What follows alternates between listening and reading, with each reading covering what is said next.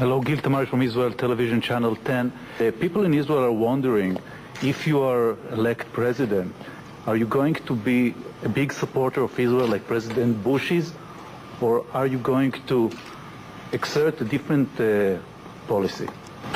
Well, I think I have been and will continue to be a very strong supporter of Israel. Israel is our, our ally. Israel is a fellow democracy. Israel uh, has had bipartisan support from presidents of both parties, from Congresses, and from the American people uh, since its founding. That will continue because we ultimately must let the world know that we stand with Israel, we guarantee Israel's security. Uh, that is a policy that will never change. You know, Israel invaded Gaza today. We just want to get your thoughts on that. Just a quick question. Yeah.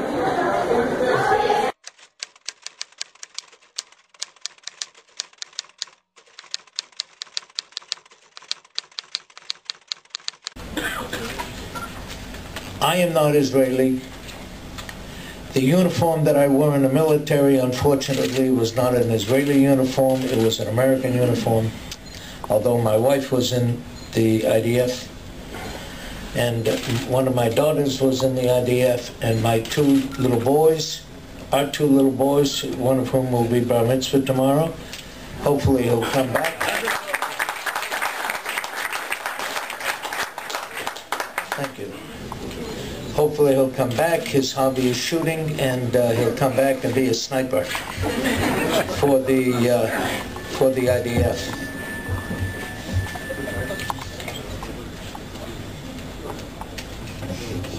I'm getting orders.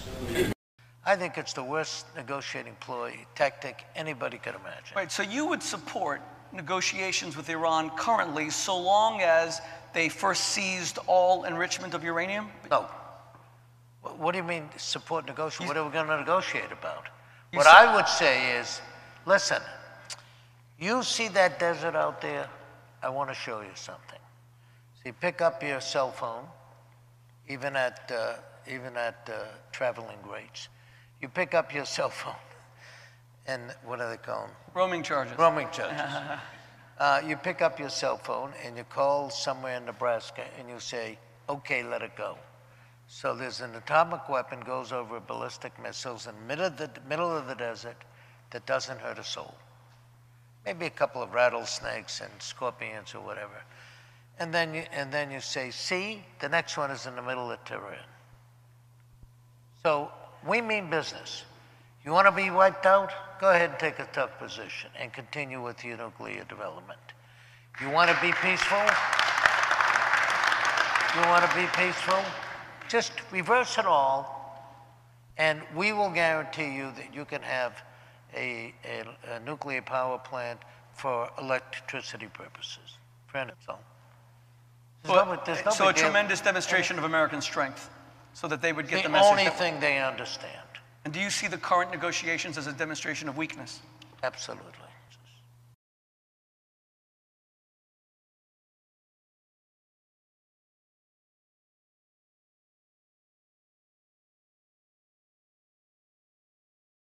When I first uh, went to Congress, I did not go to Congress to um, pay particular attention to any area outside of the black community that I represented that was in need, and of course, uh, U.S. Africa policy, which was abhorrent and unfortunately still is. Um, but what I ran into, I bumped into at almost every turn were these special interests. And there's no more special interest that has any more influence than the pro Israel lobby. And so then when I did outreach, for example, to the Muslim community in the United States, uh, I bumped into the pro Israel lobby, which of course does not want to have to contend with a politicized Muslim community, which is as large as and is as wealthy as the pro Israel lobby is in the United States. So, yes, I. Um, uh, first-handedly and also frontally was uh, uh, assaulted by the presence of the pro-Israel lobby to such an extent. Physically assaulted? Well, politically assaulted okay. to such an extent that my father had to ask the question publicly, what does Stone Mountain, Georgia have to do with Israel? What I was doing was servicing the needs of my constituents. And I was not allowed to do that because I did not toe the line on U.S. policy for Israel. What line is that that they wanted? Were you told directly that you had to toe a line, or explain that to me? Well, every candidate for Congress at that time had a pledge. They were given a pledge to, to sign. And I was uh, new on the scene. And uh, so the pledge had Jerusalem as the capital city, uh, the military superiority of Israel. American Congress people have to sign this pledge. Yes, you sign the pledge. If you don't sign the pledge, you don't get money. So, for example, it was almost like uh, water torture for me. My parents observed this. I would get a call, and uh, the person on the other end of the phone would say, I want to do a fundraiser for you. And then we would get into the planning. I would get really excited because, of course, you have to have money in order to run a campaign. And then two weeks, three weeks into the planning, they would say, Did you sign the pledge? And then I would say, No, I didn't sign the pledge. And then my fundraiser would go kaput. I made it public. This probably nobody had said anything about it. But I made it public, and then, you know, the excuse was, well, you know, those were just overzealous uh, advocates for Israel. So then the tactic changed. And, uh, but this is what is done for 535 members of the United States Congress. 100 senators, 435 members of the House of Representatives have to now write a paragraph, which basically says the same thing. So it's not a pledge, but it's a paragraph, and you post it, and you know there are these forums you have to go to at the synagogues or whatever, and then you know if you don't perform appropriately, then you don't get money to run your campaign. The problem is that it requires an awful lot of money to run a campaign. And whether it's a woman's organization, an environmental organization, people can read about this on the internet if they're interested. If you go to uh, thomas.loc.gov, that is the official United States Congress website. And if you put in the name uh, Gus Savage, because Gus Savage was a black member of Congress who was targeted by the pro Israel lobby. And he had the foresight to use his position as an incumbent in the House of Representatives to put his experience on the congressional record. For the entire existence of the United States Congress now, people will be able to access his experience.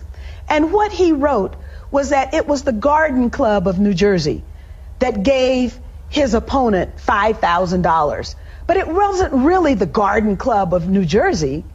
It was the activists who were associated with AIPAC, the okay. American Israel Public Affairs Committee. Well, the district that I initially represented in Congress, I represented so many districts because redistricting was a tool that was used to target me, to eliminate me from the Congress.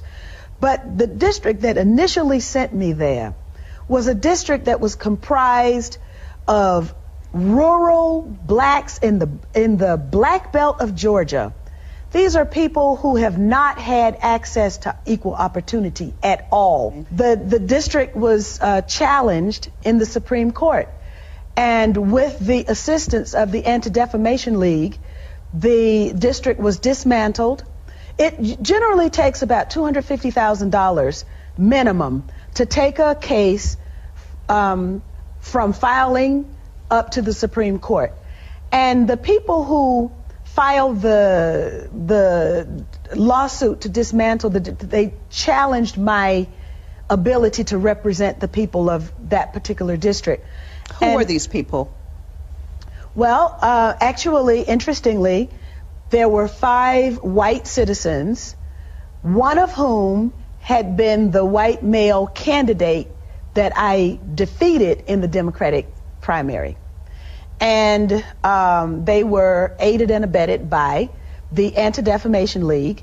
And um, when the case arrived at the Supreme Court, Interestingly, on the same day as the an environmental case, the spotted owl case, the Supreme Court decided that the habitat for the spotted owl, owl should be protected, but that the black voters in that district could have no protection, and so the district was dismantled. Well, I have. Um, because of the notoriety about me telling my story, and then, of course, uh, the public positions that I've taken supporting the human rights aspirations, the, the legitimate rights and the aspirations of the Palestinian people, um, I have a target on my forehead.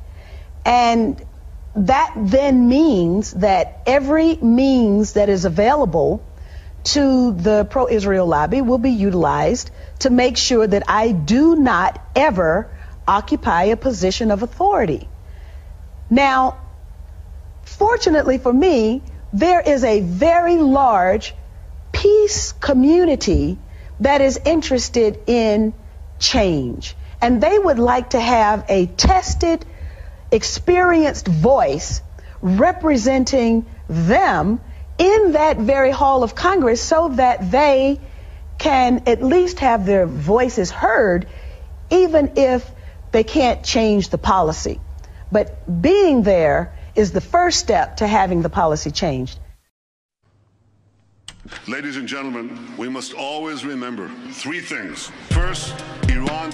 Second, Iran. And third, Iran,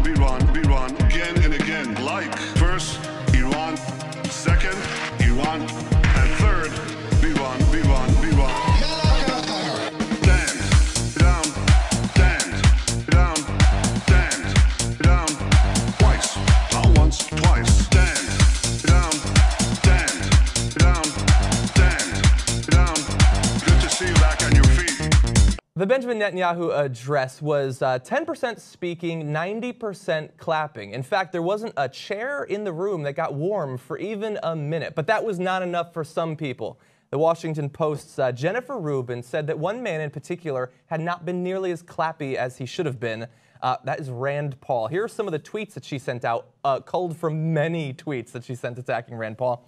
Uh, so he sent out saying something that he was in support of Israel. Uh, she said, then why would you seriously contemplate containment or propose a budget that cuts aid, including aid to Israel? She said he was unenthused. He was lifelessly applauding Bibi. Oops, almost like he's been faking his support for Israel until now. Ooh, with admirable retweet numbers there. She's doing pretty well for herself on Twitter.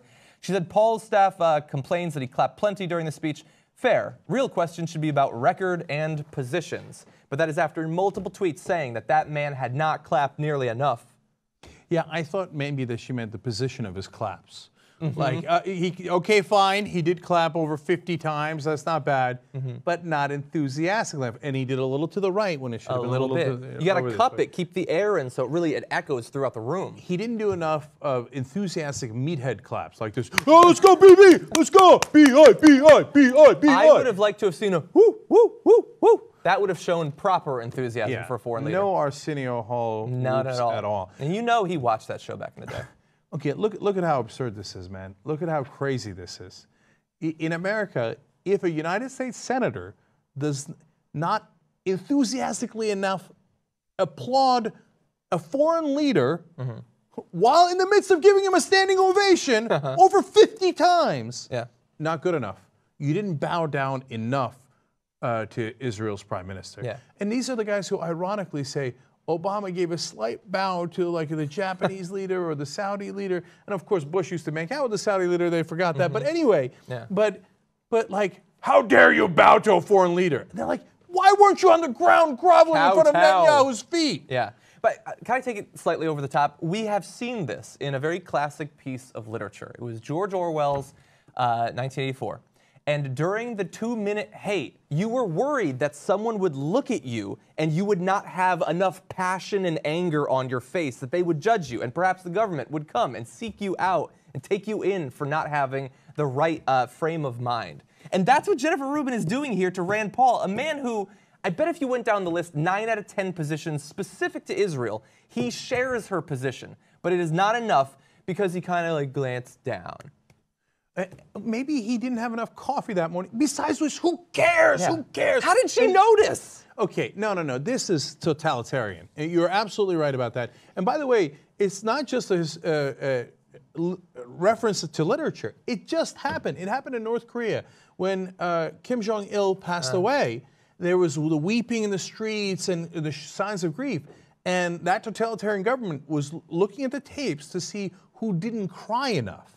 Okay, and then there were consequences. We did this story on the show. There were consequences if you did not grieve enough Yeah. when the dear leader passed away. In this case, our dear leader isn't even our leader. Yeah. It's somebody else's leader. And if you don't grovel to him enough, if you're not like, "Ah, yes, baby. You should have to switch your pants halfway through the speech. They should have a short little break where you switch your pants, you come back in fresh, ready for the, the conclusion. Yeah, this is unbelievable. I have never seen a country that has given over its sovereignty Mm-hmm. as much as uh, we see in, the, in an instance like this. Yeah. I mean, these are the guys who are constantly talking about, oh, U.S. sovereignty! Unless, of course, it's Israel, in which case, s- screw our leader. Let's not only do every single thing that the other leader says, a foreign leader says, but you must, but we're watching you. And if you're not enthusiastic enough as you're kissing his hand, ring, uh, then there will be consequences. Yeah. Okay, so, but And let's talk briefly. You know what? I'm sorry. One more thing. Okay. These are the same guys who say uh, that political correctness is wrong. Mm-hmm. I can't imagine a better definition of political correctness. And how much Can you clap. imagine if the liberals said, uh, while Obama was uh, uh, giving the State of the Union, uh, some people were not clapping enthusiastically enough. We need you to clap harder. They would be like, oh, totalitarian state propaganda, political correctness. That's the sort of enthusiasm I want to see out of Rand Paul, which you just demonstrated right Yeah, there. all right. So we do have Rand Paul. He was asked about this by Brian Kilmeade, who's always just doing his best. Uh, and here is Rand Paul's response. You don't have a monitor here, but we have some of your reaction during the speech, and you look less than thrilled hearing the speech. And as we roll it back, let me tell you what the National Review said. Uh, outs- uh, San, uh, Rand Paul's outspoken views against far, uh, muscular foreign policy and, uh, and foreign aid. Uh, you look less than enthused while the prime minister spoke. What's, uh, how, what were you thinking? You know, I think what's funny about it is that you have these gossipy websites who really demean themselves by putting stuff like that out. I, I gave the prime minister 50 standing ovations. I co-sponsored bringing him here, and on the day that I also decided to co-sponsor the Corker bill that says any final deal has to be approved, uh, we have gossipy websites looking up at you know the metric of how fast you clap. I mean, I think they demean themselves by putting that out.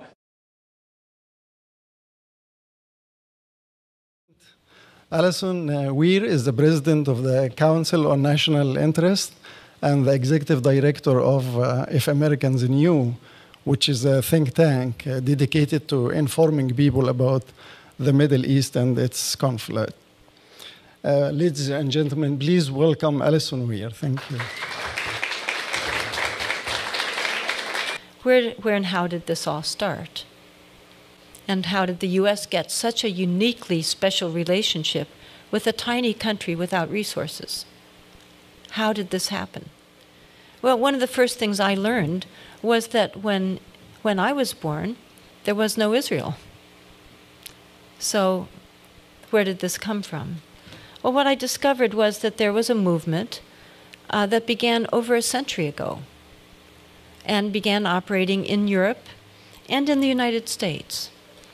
It was, a, was and is a political movement that has profoundly and negatively impacted our country. It has tragically impacted the Middle East, and it has dangerously impacted the entire world. And yet, most of us, I think, have never heard of it and could certainly not define it. It's political Zionism. This was a movement to create a Jewish state in Palestine. It began in the late 1800s. Well, let us look at Palestine in the late 1800s. It was what we largely think of now as a somewhat multicultural land, in that it was about 80% Muslim, about 15% Christian, and about 5% Jewish, all living together quite successfully. There are mosques, synagogues, uh, churches throughout Palestine, throughout the Middle East, and throughout North Africa. These populations had been living without conflict for centuries.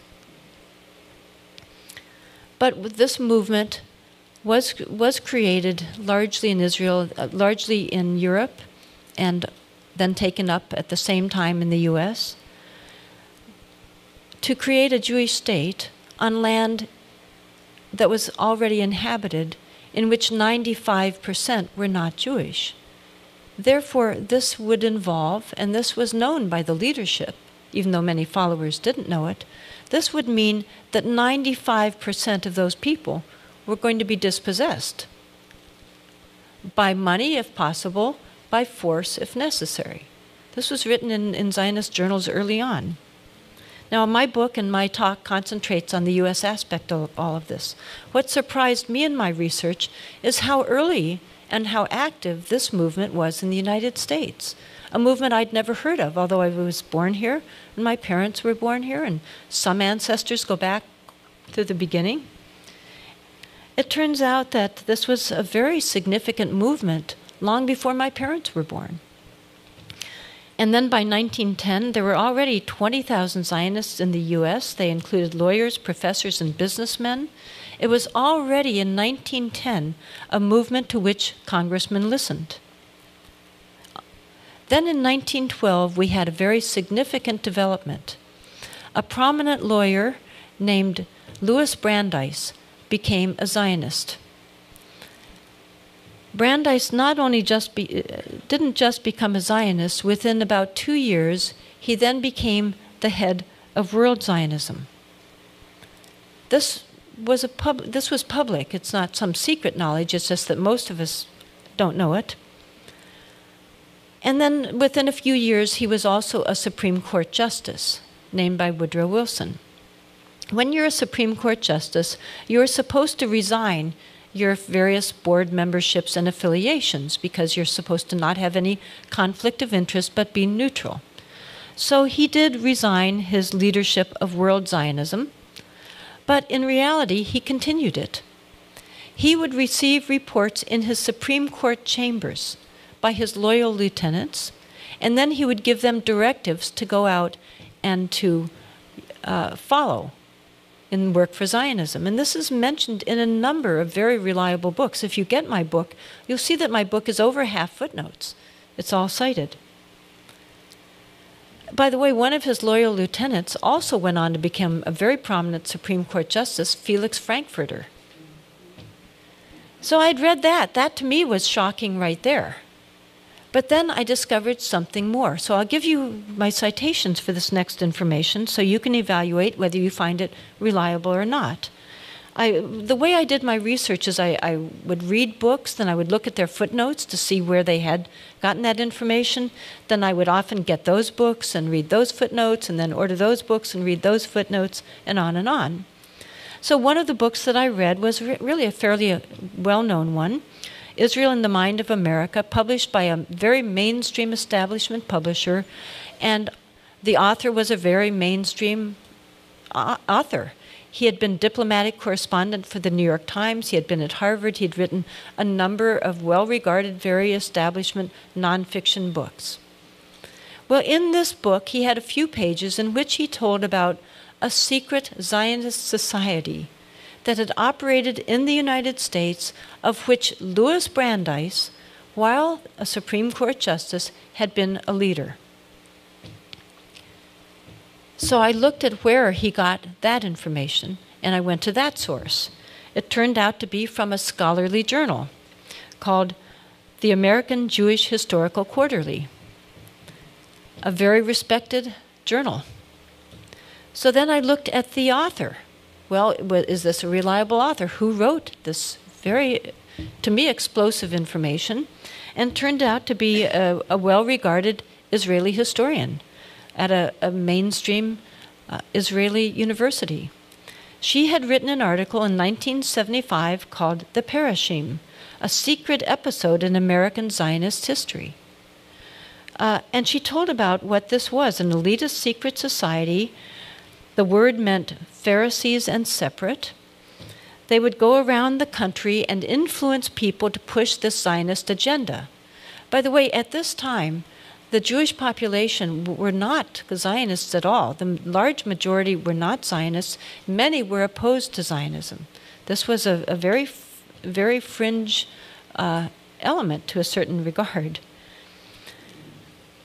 Then, in this secret society, they even had a secret induction ceremony so that when somebody joined this society, and many, their membership included professors and Harvard, you know, recent Harvard graduates and uh, doctors, significant people around the country were sometimes members. And in this initiation ceremony, they were told by the inductor, and they swore to this until our purpose shall be accomplished, you will be the fellow of a brotherhood whose bond you will regard as greater than any other in your life, dearer than that of family, of school, of nation. As early as November 1915, a leader of the Parushim went around suggesting that the British might gain some benefit from a formal declaration in support of a Jewish national homeland in Palestine. Those of you who have heard of the Balfour Declaration that came in 1917 might find this relevant. I'll get into that a little bit more. Let's remember what was going on during this time period now in the world, especially that involved Britain. Well, of course, in 1914 began what was called at that time the Great War of massive carnage.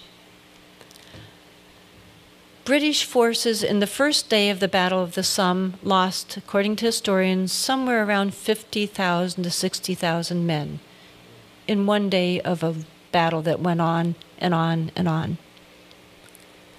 The British and the German, both sides, of course, wanted the U.S. to come in on their side to join this carnage. But the American population were that bad thing, they were isolationists. They didn't want to go kill and be killed in a foreign, pointless war. In fact, Woodrow Wilson was elected with the slogan, He kept us out of the war. But of course, as you know, with hindsight, no, he didn't. Well, what happened is that the, the Zionists leaders, some of them in Britain, a man named Chaim Weizmann, who is quite well known, went to the British government and said, Well, we can help you win this war. Now, why would they want to do that? Because the war wasn't just against Germany, it was against the Ottoman Empire. The Ottoman Empire uh, held Palestine. Palestine was under, under the Ottoman Empire. So by defeating them, the British would, would come into control of, of Palestine. So the Zionists went to the British and said, We can help you get the United States into the war. Our, our Zionist colleagues in the United States, for example, they said in writing, Louis Brandeis, who is close to President Wilson, can help to do that. In exchange for that, the British did issue a declaration that was quite significant, mild as it may sound. It was really considered a gentleman's agreement. This is written about in a number of books. Just most of us don't know this about our own history. So the Balfour Declaration was basically a promise that the British would help to facilitate the Zionist objective of creating a Jewish state in Palestine.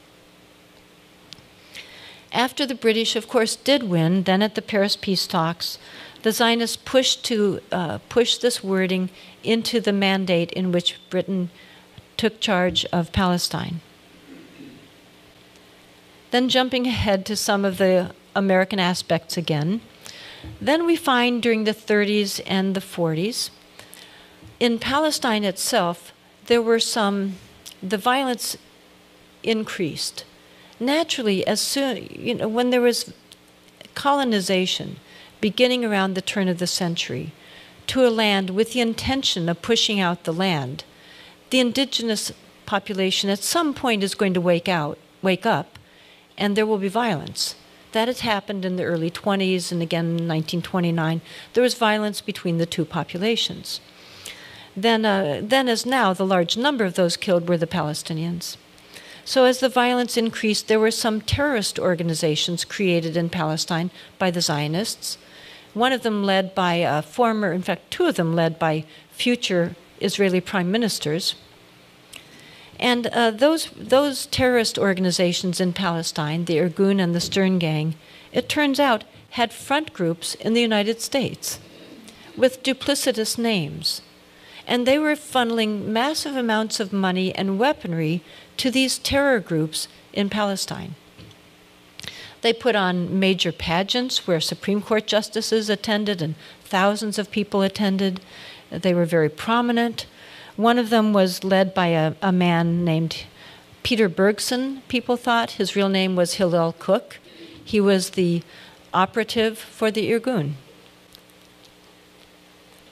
I looked into one of the leaders a bit more, just, just because I needed to find out his first name. When you're writing a book, you can't just write someone's last name, you need to know their first name. And I had heard about another leader of, of one of these types of front groups connected to killing in Palestine. And uh, his name was Rabbi Korff, but I didn't know the first name. None of the books that I had had a few paragraphs of them, but none of them gave his first name. So I looked into it on the internet, tried to do various searches, and eventually I came up with a UN report that gave his, his first name, Baruch Korff, and told a little bit about a plot he was part of. Using those search terms, I then could just, you know, put in more information into my search bar, and suddenly all these PDFs of American newspapers popped up, all of these returns. It turned out that Rabbi Baruch Korff was part of a, a, a cell in Paris that was planning to fly an airplane and bomb Britain after the war. Britain that had just defeated Hitler. But they were so angry at the British because the British were not allowing a, large enough Jewish immigration into Palestine. So they were going to kill the British. So Baruch Korff and his section of the Stern Gang had this plan, but there was one problem. They, they didn't know how to fly an airplane. They weren't pilots. So they needed to find somebody, and they recruited a young American aviator named Reginald Gilbert, I discovered. Reginald Gilbert had been an ace during the war. He was in Paris, and they recruited him to fly the airplane for them. He pretended to go along with the plot, but then he went to the American Embassy. And the American Embassy ins- informed the Paris police and Scotland Yard. So for a week, he pretended to go along with this cell. And then when it came time to actually take off, to fly the plane, to drop these uh, incendiary bombs onto the foreign ministry, they were caught.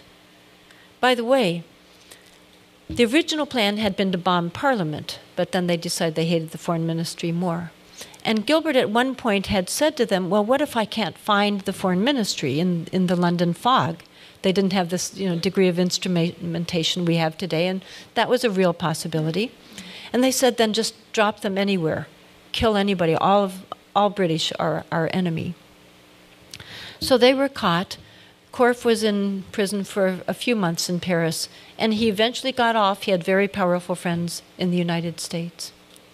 But I was curious about him. I looked into him some more. To, you know, this was so astounding to me, and none of these, you know, dozens and dozens of books I have, none of them had any, had this story in there at all. And so, in looking at him, I discovered that later in life, he was a friend of Richard Nixon. In fact, it was reported that he had helped to influence Nixon's policies on the Middle East. In fact, Nixon, sort of in a fond way, called him my rabbi. Now, the precursor to today's very powerful Israel lobby was a group called the American Zionist Emergency Council, AZEC. Uh, this was formed in around 1940, and by 1943 had a budget of half a million dollars at a time when a nickel bought a loaf of bread. Within a few years, they had maneuvered their way into access to an even far larger sum, in which they had access to $14 million in 1941 and $150 million by 1948. That's the equivalent in today's dollars of a trillion dollars to use to manipulate the United States. So they targeted with that money every sector of U.S. society. Uh, and you know this isn't ancient history. They had annual reports. They had directives. You know all of this was written down on paper. They targeted congressmen, Christian clergy, editors, professors, business and labor, Jewish war veterans. They published uh, books all over. They had 400 local committees. There were massive campaigns throughout the country. They also worked especially to manufacture Christian support. They uh, secretly funded sort of Christian groups that would push the same Zionist ideology. They uh, funded books that became huge bestsellers. It was a, an enormously successful campaign throughout the country. Even though during this time there was a great deal of opposition to Zionism by many different groups, by Christian leaders, by State Department, Pentagon, intelligence agencies, Jewish anti Zionists, Many people were opposed to it. Two of the most celebrated Christian pastors opposed it on religious and moral grounds.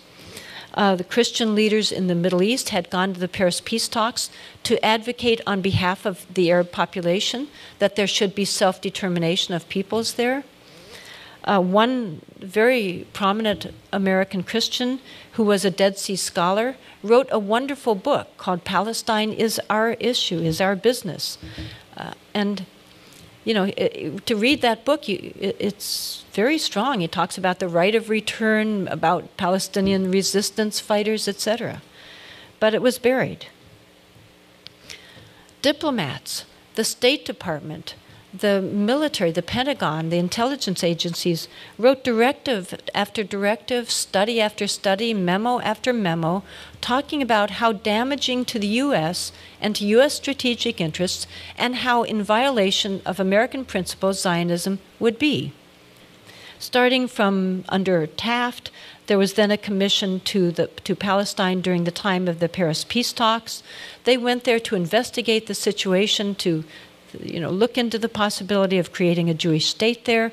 And they came back with a very powerful report saying this would be a grave trespass on the rights of the people there.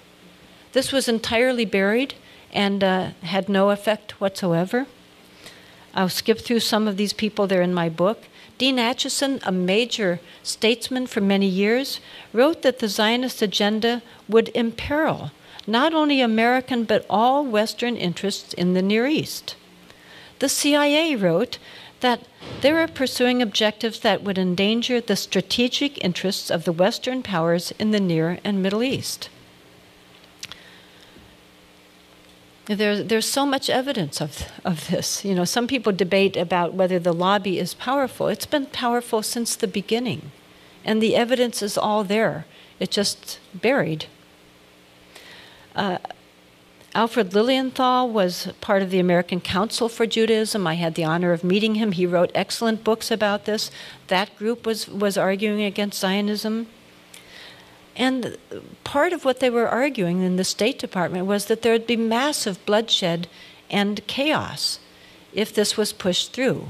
When the Zionists began to work to push through what's called the partition plan through the United Nations, that's portrayed to Americans as this wonderful compromise. Palestinians just, you know, ignored this wonderful opportunity that Palestinians pushed through. Well, they, they knew, and the State Department were saying this would be a, a disaster if this gets pushed through.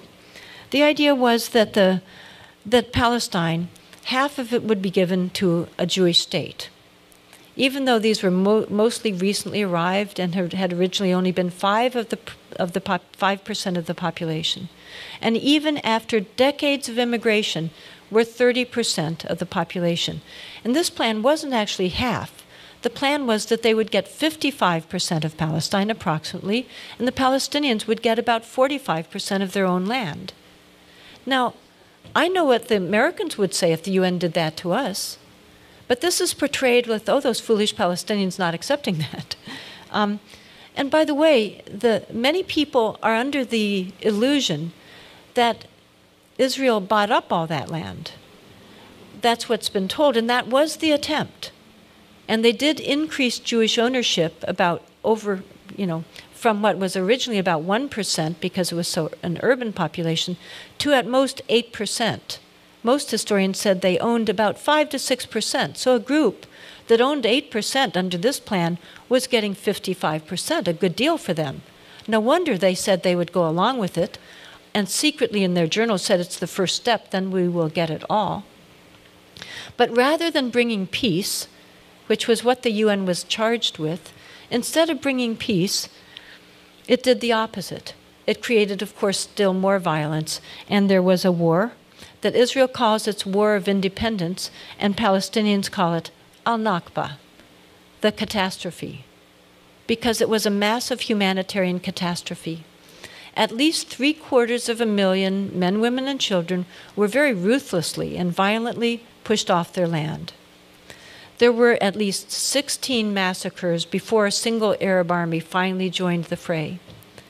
And by the way, those of you that grew up with the myth that I did, that little Israel declared its independence and suddenly, you know, five to seven Arab armies suddenly just attacked, but Israel somehow won because God, you know, was on their side or something.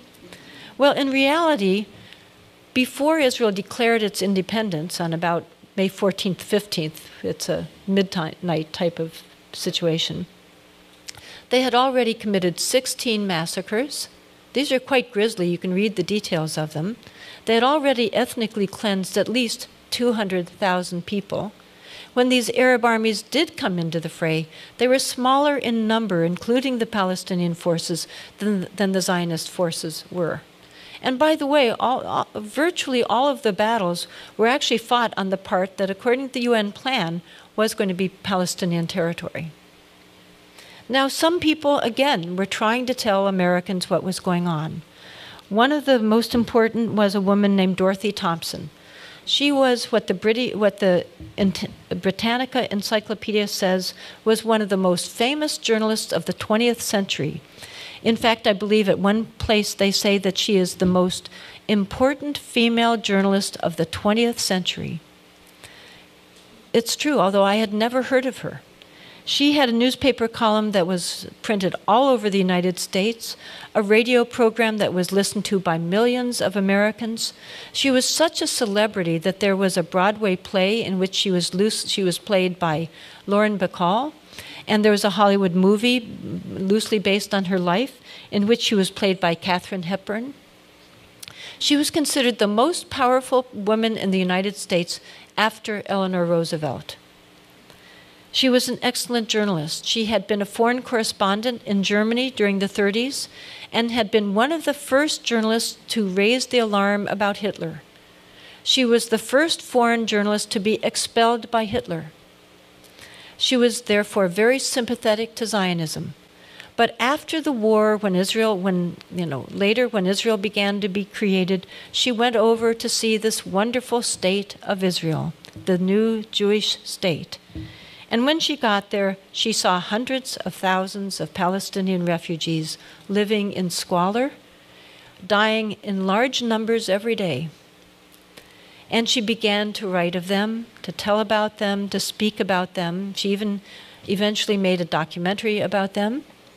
And for telling about these people, for writing about these people, she lost her newspaper column, she lost her radio program, she lost her fame, and she was erased from history. This one is about something that took place on Capitol Hill in 2003. There was a briefing in the Rayburn House Office building. The chairman of that briefing was a four star admiral, Admiral Thomas Moorer. He had been chairman of the Joint Chiefs of Staff, a World War II hero, the highest rank a military officer can attain, really, and former chairman of Chiefs, uh, Joint Chiefs of Staff.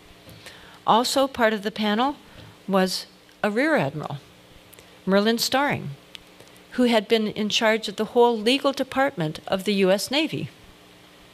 Also, part of their commission was a Marine general. And not just any Marine general, this one was the highest ranking Medal of Honor recipient in the United States, the highest Medal of Valor an American can win. They announced their findings on Capitol Hill that Israel had tried to sink a U.S. Navy ship, that they had killed 34 Americans and injured over 170 of them. The decks had been running with blood. That rescue flights to these men had been recalled by order of the Secretary of Defense and the President of the United States. That this incident, in fact, had been ordered covered up by the President of the United States, and that this attack by Israel constituted an act of war against the United States by Israel. Statements of that gravity by officials of that high rank on Capitol Hill in a House office building are newsworthy. And yet, there was nothing about them in the Washington Post, the New York Times, the allegedly patriotic network, Fox News, we may wish to call why they didn't cover it. The only place that covered those statements was the Stars and Stripes newspaper.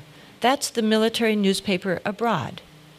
And it's in detail in the congressional record. There you can read every word.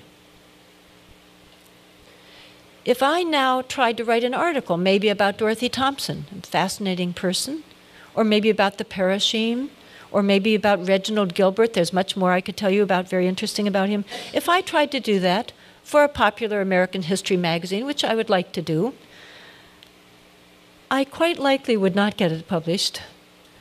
And that's, you know, this is not paranoid speculation. A few years ago, we tried to put a paid newspaper ad in American History magazine, not about Palestine. We tried to put a paid ad in about a book, a memoir by a 91 year old American congressman. It tells about his, his uh, childhood in Depression era America, in Corn Belt America, about being a small town newspaper editor, about serving the Seabees during World War II, about going to Congress, about all his various fights in Congress, and about also, near the end of the book, it tells about the fact that when he started to speak about Palestine, he was targeted by the Israel lobby, money was funded to his opponent, and after 22 years in Congress, he lost the election, Paul Findley. But our advertisement didn't even tell about that last part of his very long life. It just told about his book, you know, with the usual blurbs about what a wonderful book this is. But Eric Weider, the publisher and owner of American History magazine, informed us that they would not publish our advertisement in American History magazine because we were anti Israel, and that they would not publish our advertisement in any of the popular history magazines that they own in the United States, which is virtually every one. This is, according to their website, the largest history chain in the world, and it's certainly the largest one in the United States. So, what do we do about this? To me, we tell people what's going on. We even talk to those people that we don't want to raise something serious or uncomfortable with, because right now, as we're talking, we all know what's going on in Gaza in general we don't know which child was just killed or lost their parents. We don't know which home was just destroyed, which hospital was further destroyed, but we know what's going on right now. And now we, we know a little bit about what's going on here. But we have the power to change this. I feel strongly that if every single person in the United States right now that is concerned about Gaza would actually just do something like maybe again, or maybe for the first time, phone your senator. If every single one of us did that tomorrow, it wouldn't change the policy overnight, but they would have they have their fingers to the wind and suddenly they would realize, whoa, looks like the tide is changing here. And half of them would love it to change. They don't like being AIPAC puppets. Now, some of them are ideological Zionists. You know, that, that's the reality. But according to a congressman that I talked to a number few years ago, he said over half in Congress know what they are doing is wrong, but the Israel lo- they're afraid of the Israel lobby. In other cases, Congress people have privately told individuals, you need to make me do this. You need to create the grassroots movement so that I can do it. If everyone in America did that, it would begin the impact that would bring change. Thank you very much.